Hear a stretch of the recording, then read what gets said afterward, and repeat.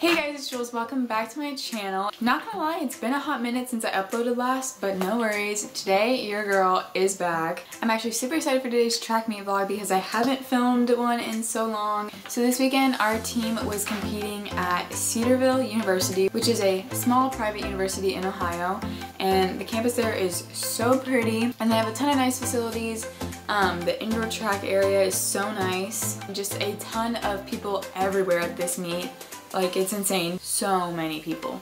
So my first event of the day was the 4x800. So here's me and the girls getting ready for that. The 4x800 was wild.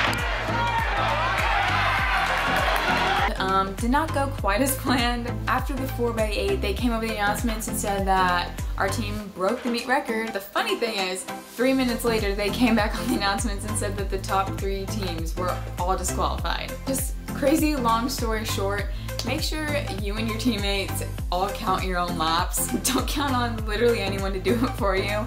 After that crazy fun fiasco, we went to go grab lunch at Handy Dandy Subway, always coming in clutch on race days.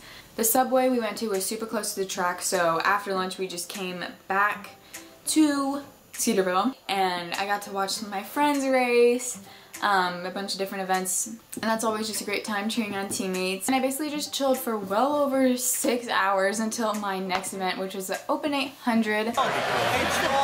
Hey Joel! Happy birthday Cooper! Oh thank you. Finally making my vlog debut, let's get it.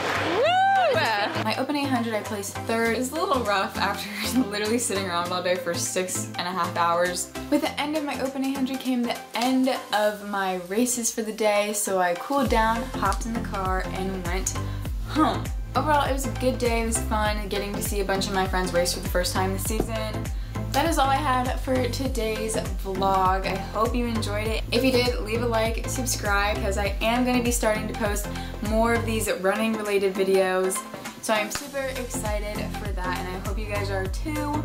In my next video we're going to be up at Spire Institute in Cleveland, Ohio so that's to be super fun. You should definitely check that out when it comes out. I'll link it in the description. I love you guys all so, so much and I will see you in the next video. Bye guys.